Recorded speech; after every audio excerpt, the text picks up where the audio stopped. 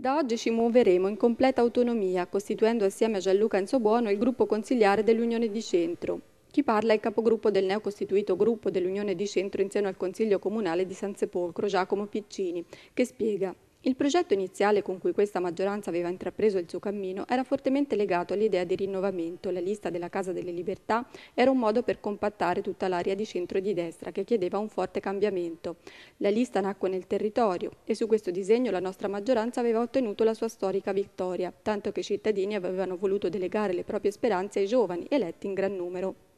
In virtù delle ultime vicissitudini, segue Piccini, ci siamo resi conto che la visione in maggioranza per molti è mutata. Riteniamo invece di dover salvaguardare quello spirito vincente del 2006 e con esso la nostra coerenza. Una posizione questa dei centristi biturgensi che non manca di sottolineare il coordinatore valtiberino Marino Dellomarino. D'ora in avanti cambierà anche il nostro modo di stare in consiglio, valuteremo ogni pratica, ogni passaggio che la maggioranza vorrà porci, non stancandoci mai di pretendere chiarezza, come ad esempio sul bilancio, che non approveremo se non sarà pienamente condiviso. Stiamo entrando nei mesi cruciali di questa maggioranza, quelli che orienteranno il giudizio finale da parte degli elettori, ricorda Dellomarino, e vorrei dare atto alla Lega Nord rappresentata dal al consigliere Licio Pasquini di aver mantenuto nel tempo una linea politica coerente che continuiamo a condividere.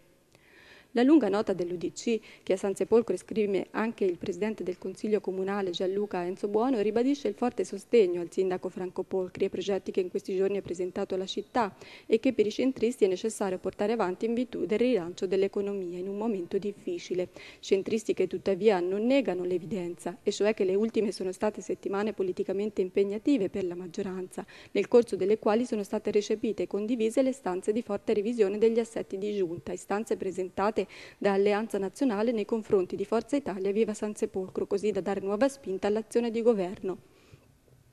e con il documento l'UDC rende noto che Alleanza Nazionale per accelerare questa revisione è arrivata alla riconsegna attraverso il vice sindaco Mercati delle deleghe al sindaco Polcri.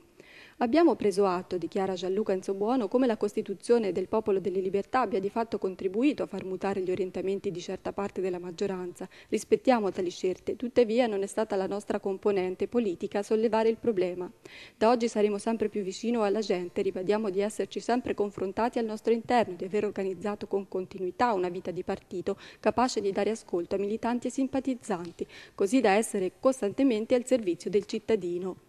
Dunque anche la scelta di autonomia dei centristi biturgensi giunge oggi a evidenziare l'affanno in cui si dimena la Giunta Polcri nella capacità di tradurre in azioni concrete quanto proposto nel programma elettorale del 2006.